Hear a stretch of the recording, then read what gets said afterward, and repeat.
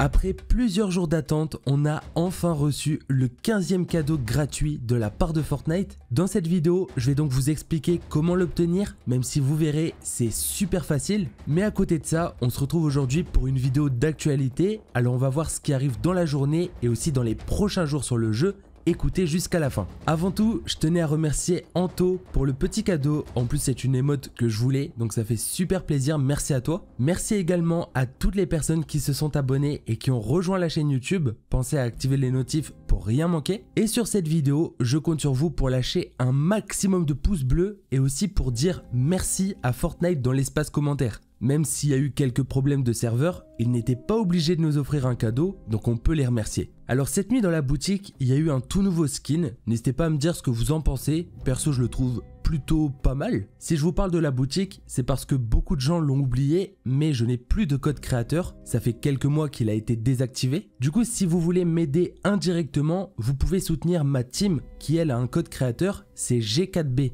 Donc je compte sur vous pour mettre leur code, ça leur ferait super plaisir. Du coup les potes, parlons de ce fameux cadeau. Epic Games l'a annoncé avant-hier. Pour s'excuser des problèmes, ils ont décidé de nous offrir la pioche tranche champignon. C'est la pioche que vous voyez à l'écran, qui est plutôt pas mal. En vrai, pour une récompense gratuite, ça fait vraiment plaisir. Et comme vous pouvez le voir, hier, il y a déjà des personnes qui ont commencé à recevoir cette pioche juste après la fin de la fête hivernale. Ça a pris fin à 15h, je vous l'avais annoncé, donc les quêtes, etc. ne sont plus disponibles dans le jeu. Et donc comme on peut le voir sur l'image, il y a bien des joueurs qui ont commencé à recevoir la pioche, mais ça se fait progressivement. Si vous ne l'avez pas encore reçu alors que vous vous êtes connecté pendant la fête hivernale, c'est normal, il faut juste patienter, ça va arriver dans la semaine. D'ailleurs, en commentaire tout de suite, dites-moi si vous l'avez reçu ou si vous ne l'avez pas encore reçu, comme ça on verra à peu près combien de personnes l'ont eu. Pour information, cette pioche elle fait partie de l'ensemble du skin Madcap que vous voyez à l'écran et qui fera son apparition dans la boutique dans quelques temps. Pour tous ceux qui l'attendent depuis des années, bah normalement il arrivera cette saison, c'est plutôt confirmé. Et aussi, pour ceux qui veulent gagner beaucoup d'XP, et eh bien ce week-end, l'XP sera super chargé, donc vous pourrez en gagner vraiment beaucoup en jouant. Alors profitez-en, ça fait partie des récompenses que Fortnite nous offre pour s'excuser des problèmes. Alors les potes, la fête hivernale est terminée, mais attention, car dans les prochains jours, les prochaines semaines, etc., vous allez peut-être tomber sur des items de la fête hivernale. En effet, Hypex l'avait rappelé quelques heures avant la fin, mais vous pouviez enregistrer les items de la fête hivernale dans votre tente que ce soit le lance-boule de neige, comme vous le voyez sur cette image, ou alors les grenades gelantes, les cadeaux, etc., vous pouviez les enregistrer. Alors petit à petit, au fil du temps, pour ceux qui ont réussi à les sauvegarder, ça deviendra des items rares, et ça je trouve que c'est plutôt cool. La seule chose que j'espère, c'est que Fortnite ne les enlèvera pas des tentes, car au final, ça reste quelque chose de sympa, et qui ne gêne pas trop le jeu. Maintenant les potes, dans la journée il va y avoir du mouvement au niveau de la map, un changement assez important qui va commencer à partir d'aujourd'hui. Je vous l'avais annoncé, on est le 7 janvier et c'est la neige qui va commencer à fondre. Alors déjà sur cette image de Zateo, on peut voir l'évolution de la map au fil des prochains jours et prochaines semaines. Ça va donc se faire en 9 étapes. La première, c'est celle qu'on connaît depuis le début du chapitre.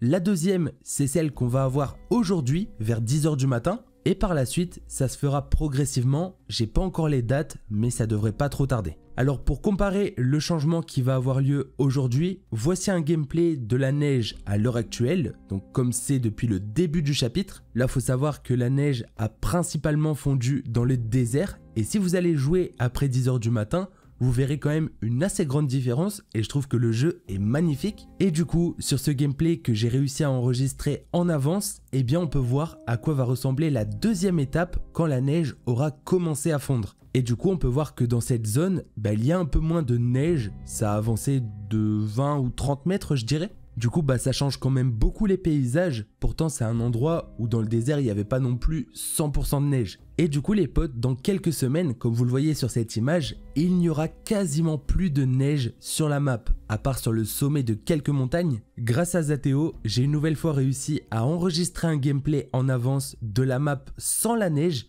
et on peut voir que ça change quand même beaucoup de choses. Personnellement, j'aurais aimé qu'il laisse au moins une partie de la map enneigée, pas seulement les montagnes. Donnez-moi votre avis en commentaire, mais je trouve que ça aurait été sympa. Après, ça fait du changement et pour avoir été visiter certaines zones de la map, c'est pas non plus très moche, c'est juste que ça varie un peu moins qu'avant. En tout cas, ça, ça devrait arriver d'ici quelques semaines, alors profitez encore des coins enneigés avant qu'ils ne disparaissent totalement. Évidemment les potes, j'en ai pas encore parlé pour l'instant, mais la fonte de la neige, ça nous annonce une bonne nouvelle, le retour de Tilted Tower. Actuellement, la ville est glacée et elle se retrouve sous la neige, mais c'est qu'une question de temps. En effet, on peut voir que dès la sixième étape de la fonte de la neige, Tilted Tower fera son retour dans le jeu. Du coup, selon pas mal de théories, quelques indices, etc., ce sera apparemment pour la mise à jour de la semaine du 18 janvier. Ça veut dire que dans un peu plus de 10 jours, on aura Tilted Tower dans la map du chapitre 3.